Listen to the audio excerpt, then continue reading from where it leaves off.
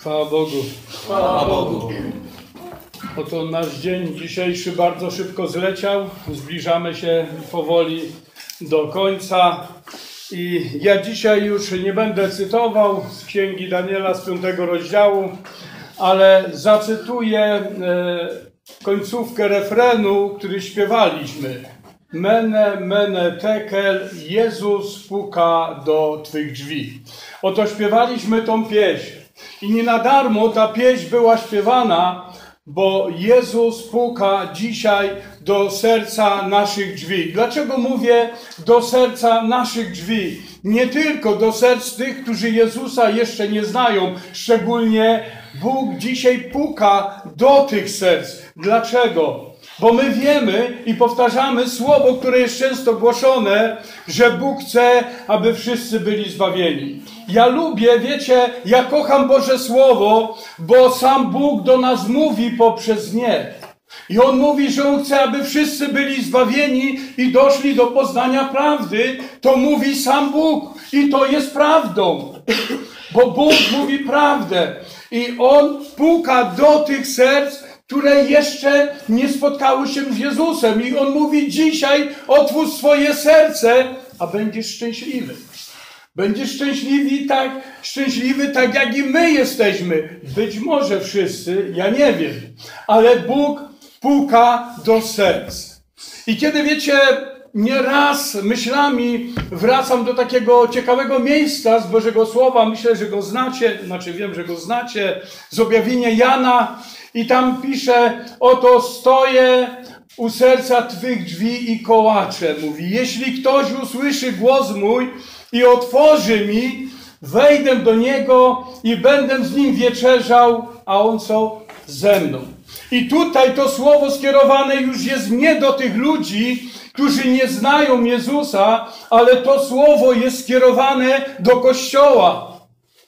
Oto jest skierowane do nas. Oto Jezus puka. Wiecie, ja przeżywam Boże Słowo, kiedy czytam. Jezus mówi, ja pukam. Do kogo? Do ludzi wierzących, do ludzi, którzy są z Boże. I On stoi na zewnątrz i On puka. A gdzie ma być? Przecież powinien być wewnątrz. I dlatego Bóg daje nam jeszcze kolejny dzień łaski. I mogliśmy śpiewać Mene, mene, tekel, Jezus puka do Twych drzwi. Oto chcemy przeglądać swoje życie i swoje serce, po to jesteśmy na zgromadzeniu. Mi podoba się, kiedy pierwszy Kościół, kiedy apostołowie głoszą słowo i mówią tak, my głosimy wtedy to, czego oko nie widziało i ucho nie słyszało i na rozum ludzki nie wstąpiło, co Bóg przygotował tym, którzy Go miłują. I wiecie, kiedy zacząłem się zastanawiać, ciekawe miejsce Słowa Bożego. Oto oni głoszą coś, czego oko nie widziało i ucho nie słyszało i na rozum ludzki nie wstąpiło. Jakżeż takie rzeczy można głosić, kiedy to nawet nie przychodzi na rozum ludzki? Prawda? Wydawałoby się, co oni głoszą dla tych ludzi. Myślę, że wiecie, co oni głosili, bo odpowiedź znajduje się w Bożym Słowie. Oto kiedy otwieramy i list do Filipian, bodajże czwarty rozdział, siódmy werset mówi tak. A pokój Boży, który przewyższa wszelki rozum ludzki, strzec będzie i serc waszych, i myśli waszych w Chrystusie Jezusie. Oto pokój Boży będzie wypełniał serce wasze. Oto Bóg chce, aby ten pokój Boży wypełniał nasze serce i my głosimy właśnie to, nieco innego, aby pokój Boży mógł wypełniać Twoje serce. A kiedy Boży pokój będzie wypełniał Twoje i moje serce, to będziemy ludźmi jakimi? Szczęśliwymi. Oto będziemy ludźmi radosnymi. Oto nadzieja, ufność i wiara będzie w naszym sercu. I ludzie patrząc na nas, i słuchając nas powiedzą: O, my widzimy, że to, co on mówi, to on w to wierzy. Chwała Bogu, dobrze by było, żebyśmy my wierzyli w to, co mówimy. Bo jeśli my będziemy wierzyć w to, co mówimy, to i ludzie, kiedy będą patrzeć na nas, inaczej to będą odbierać.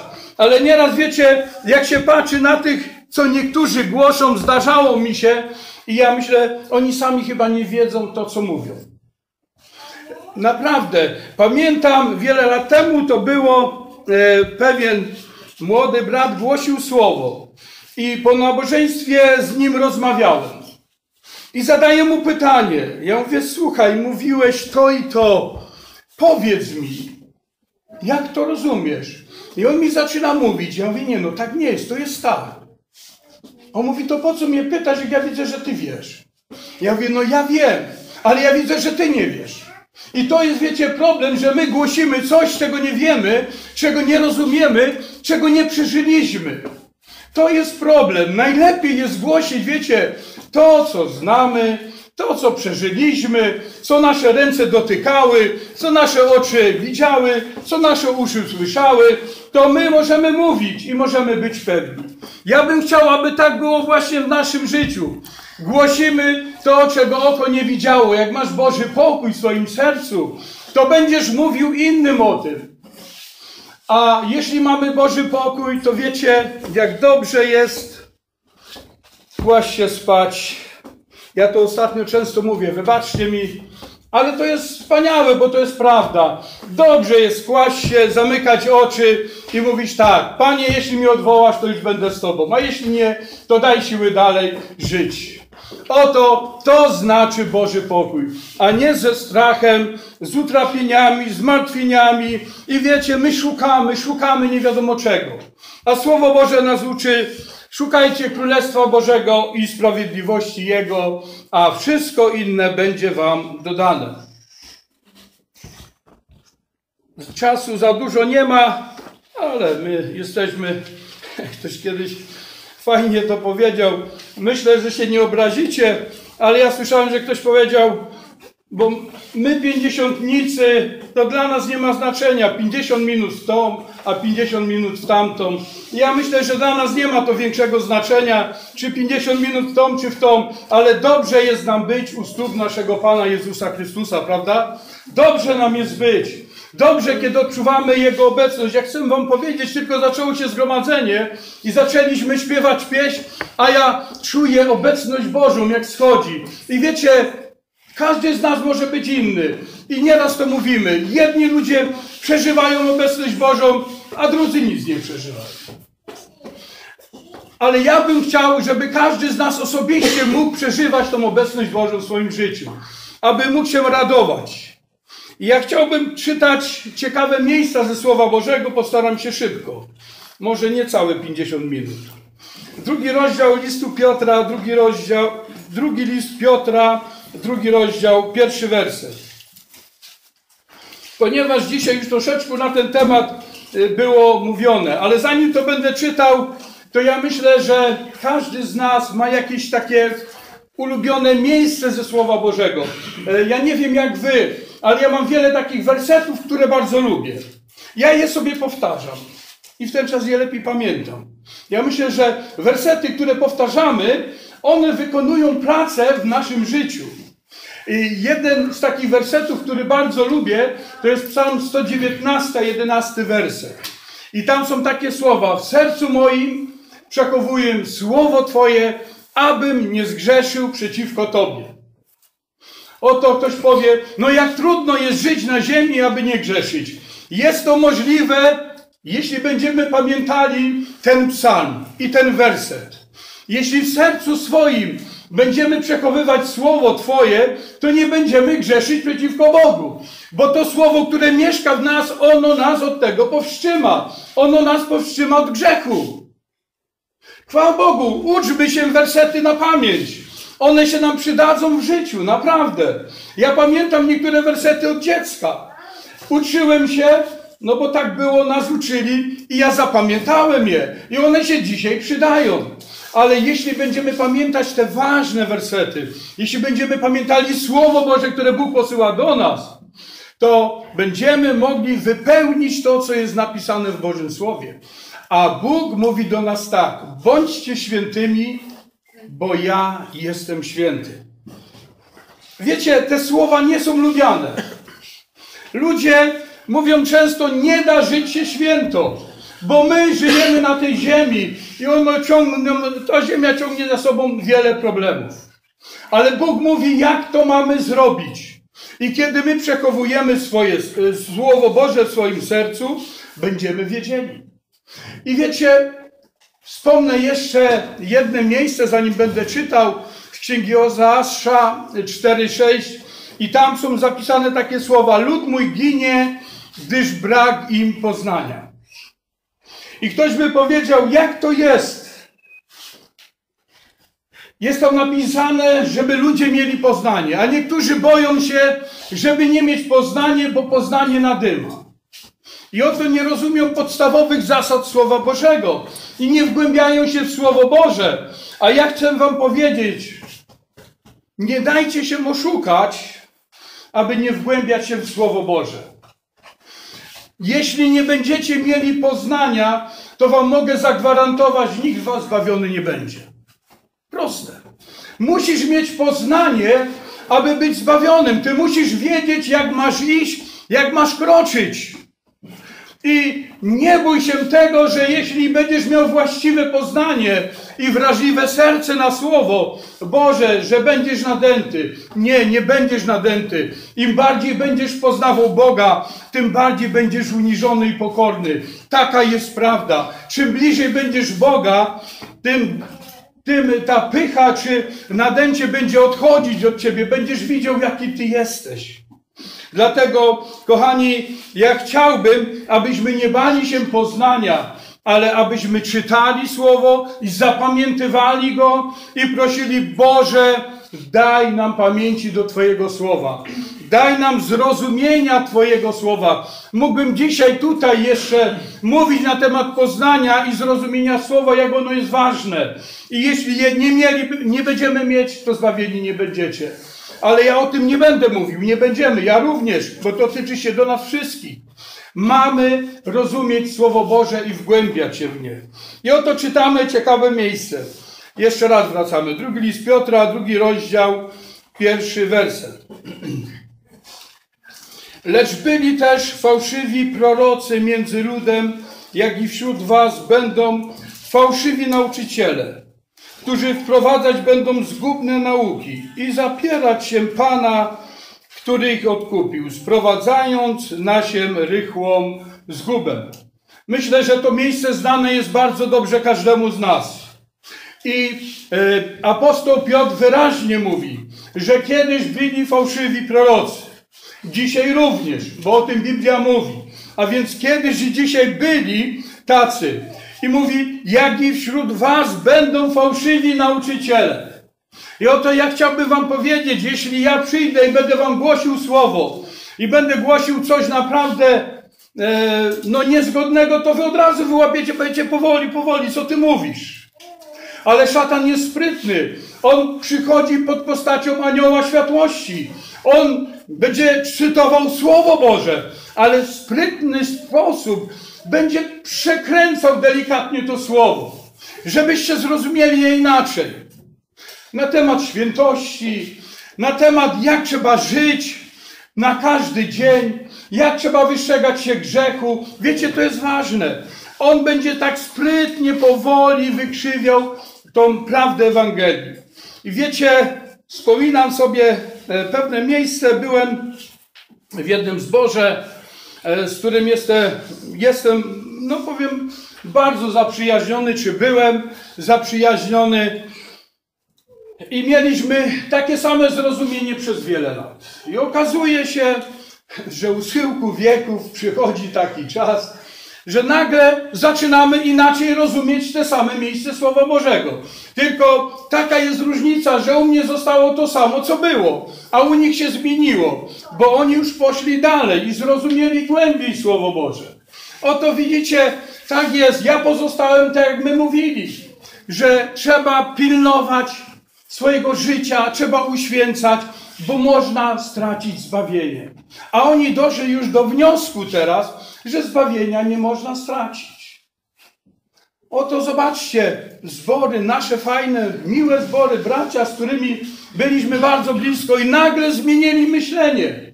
I jak myślicie, to ci ludzie zmienili myślenie? Nie. Tam zaczęli przyjeżdżać bracia I zaczęli nauczać odpowiednio. I tak potrafili powolutku, powolutku przekonali tych ludzi, żeby zmienili swoje myślenie. Od i problem.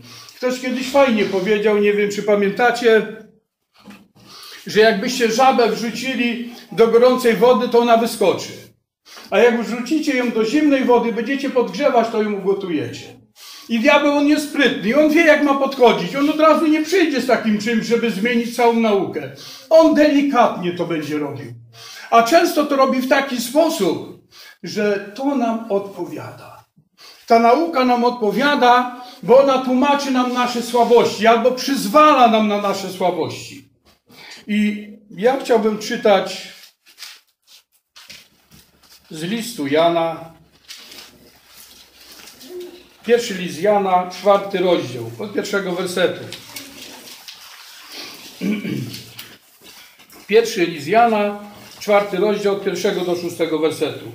Umiłowani, nie każdemu duchowi wierzcie, lecz badajcie duchy, czy są z Boga, gdyż wielu fałszywych proroków wyszło na ten świat.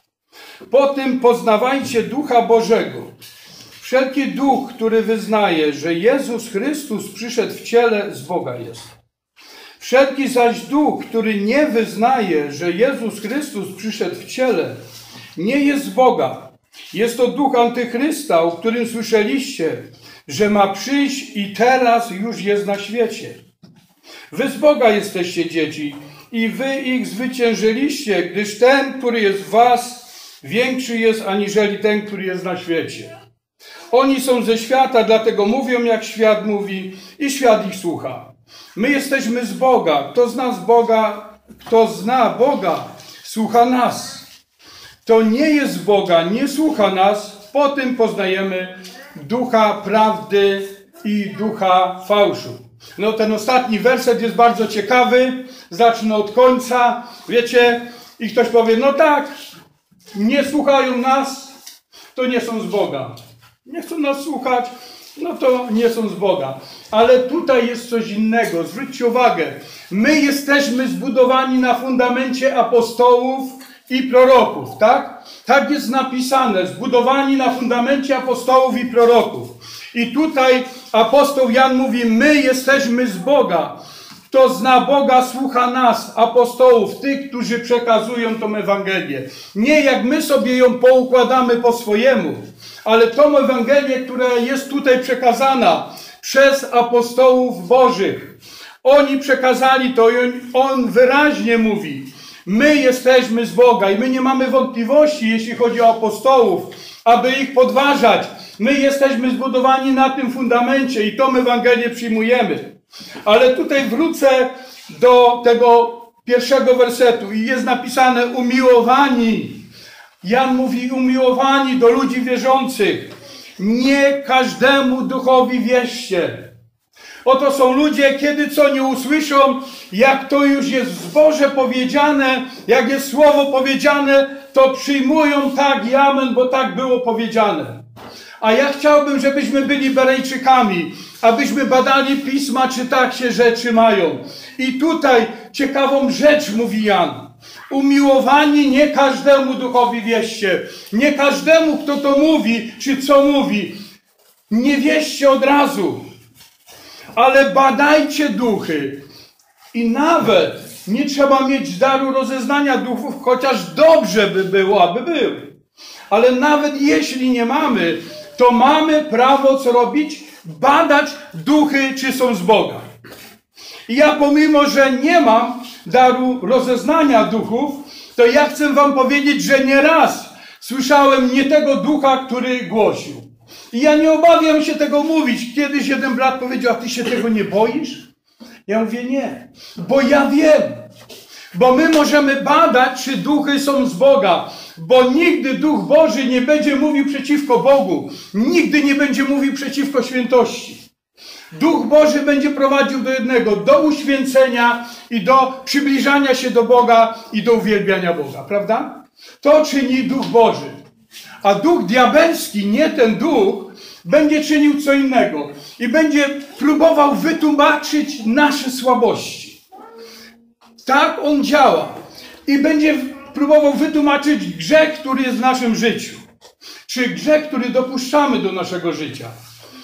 I ja Wam powiem, że to jest niebezpieczne, bo my słuchając kogoś, który nam przyzwala na pewne rzeczy, które być może są w naszym życiu, zaczyna nam to odpowiadać. Oczywiście, no dobrze nam się żyje i jeszcze nam to zaklepuje, więc mogę dalej spokojnie żyć. Ale dalej Jan mówi, po tym poznawajcie Ducha Bożego. Wszelki duch, który wyznaje, że Jezus Chrystus przyszedł w ciele z Boga jest.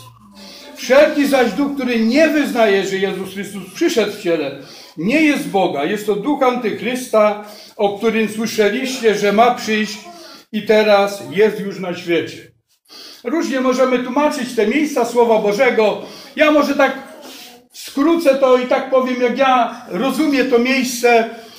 Wiecie, każdy, kto mówi, nie da żyć się święto, no bo przecież my żyjemy w tym ciele. No w tym ciele nie da się żyć święto. Kto podważa życie w świętości i będzie mówił, że nie można żyć święto i nie da się, bo my tylko jesteśmy ciałem, to nie jest duch Boży. To jest duch antychrysta, który chce doprowadzić do tego, żebyśmy żyli letnim życiem. I żeby Chrystusa nie było w naszym życiu. Ale tutaj Jan mówi dalej, wy z Boga jesteście dzieci i wy ich zwyciężyliście gdyż ten, który jest w was, większy jest aniżeli ten, który jest na świecie. Jeśli Chrystus jest w nas, to ja chciałbym powiedzieć, że my jesteśmy powołani do zwycięstwa. Amen? Taka jest prawda. Jeśli Chrystus jest w nas, to my jesteśmy powołani do zwycięstwa, bo szatan nie może pokonać Chrystusa, gdyż szatan został już pokonany. A skoro my jesteśmy pokonani, to trzeba sobie zadać pytanie, czy nie przyjęliśmy już tej nauki? I czy może nie jesteśmy tak jak zbór w Laodycei, którzy tylko myślą, że są chrześcijanami i którzy będą mieli wysoką pozycję w niebie tam. I myślą, że są bogaci duchowo, a tak naprawdę to są żebracy i nikomu nic pomóc nie mogą. Oto kto mówi, niech mówi jak Słowo Boże i to jest ważne. Tak jest napisane i amen. Ja chciałbym przeczytać jeszcze jedno miejsce z Księgi Joba, 25 rozdział. Księga Joba, 25 rozdział, od pierwszego wersetu. Na to odpowiedział Bildad w Szuach i rzekł. Władza i strach jest w jego ręku. On zapewnia pokój na swoich wysokościach. Czy można zliczyć Jego zastępy, a nad kim nie wschodzi Jego światło? Jakże więc człowiek może być sprawiedliwy w obliczu Boga?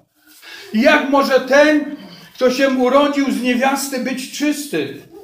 Oto jeżeli nawet księżyc nie świeci dość jasno, jeżeli nawet gwiazdy nie są czyste w jego oczach, o ileż mniej śmiertelny, który jest jak czerw i Syn Człowieczy, który jest jak roban.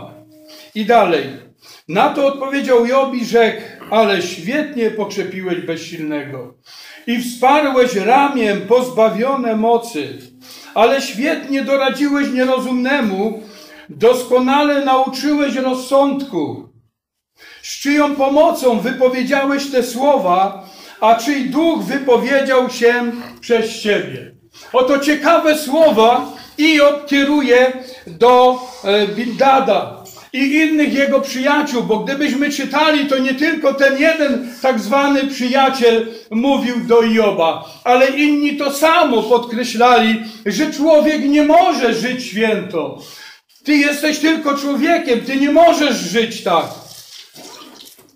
I kiedy byśmy dokładnie czytali tą księgę Joba, my wiemy, że Bóg mówi ciekawe słowa do Joba.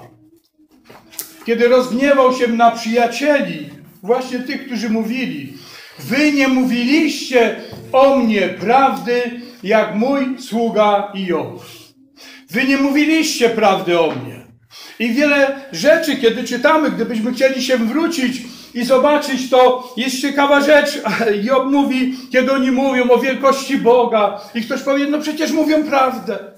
Przecież to Bóg wszystko stworzył, a on w pewnym momencie, ja może to sparafrazuję, on w pewnym momencie mówi, jak ktoś o tym nie wie.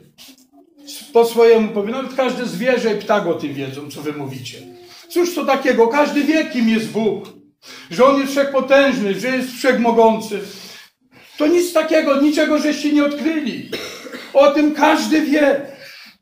I dlatego on tutaj zadaje pytanie, z czyją pomocą wypowiedziałeś te słowa? Z czyją pomocą wypowiadają ludzie słowa, którzy mówią, że nie możecie być czyści w oczach Bożych i nie możecie być święci. A ja chciałbym wam dzisiaj powiedzieć, jeśli nie będziecie czyści i nie będziecie święci, do Królestwa Bożego nie wejdziecie. I tam nie będziecie. Tylko w ten czas, kiedy będziecie czyści i święci, w ten czas tam możemy wejść.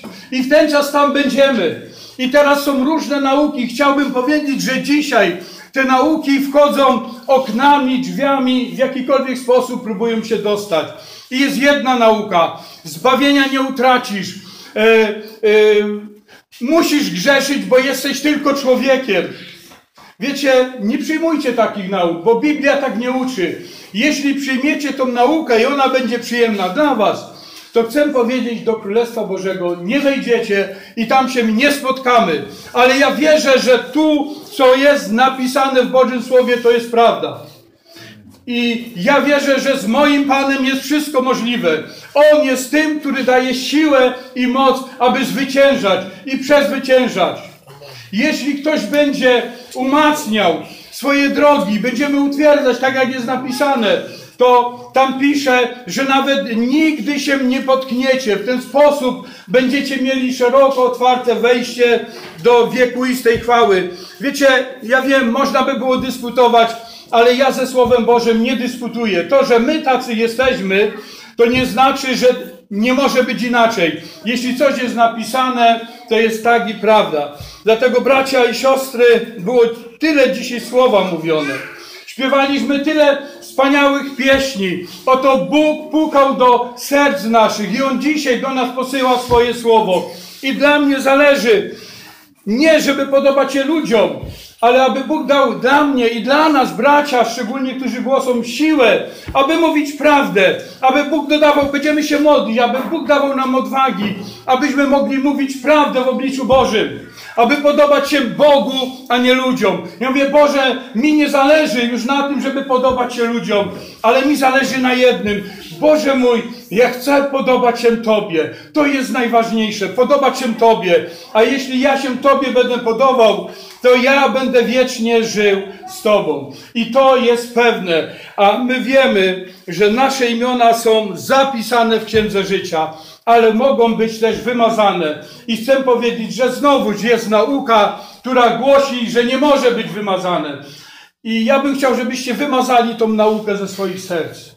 I wierzcie w jedno, może być imię z Księgi Życia wymazane, ale zależne jest to od nas. Jeśli będziemy wierzyć w te słowo i przyjmować prawdziwą naukę, to nie, po, nie będziemy się potykać i e, będziemy mogli żyć wiecznie z naszym Panem. Ja myślę, że mamy różne myślenia. Ja nie wiem, czy wszyscy myślimy tak, jak ja mówię. Ja tego nie wiem, bo ja nie znam waszych serc, ale Bóg zna was. Ale jest jedno.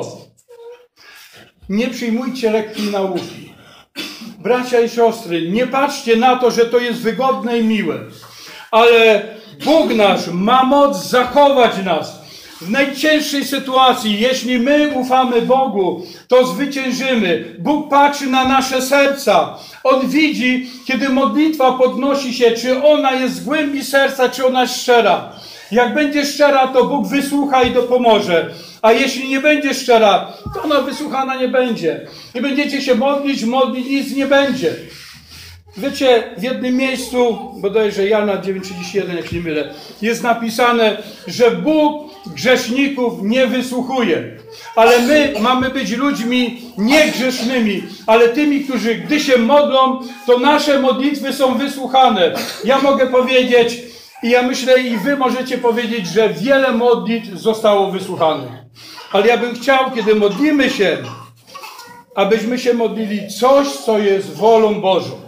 A jeśli będziemy się modlić o coś, co jest wolą Bożą, to On nas będzie wysłuchiwał. On będzie odpowiadał na te modlitwy. Bracia, siostry, to jest prawda. Dlatego otwierajmy swoje serce i bądźmy szczerzy przed Bogiem, bo Boga oszukać się nie da.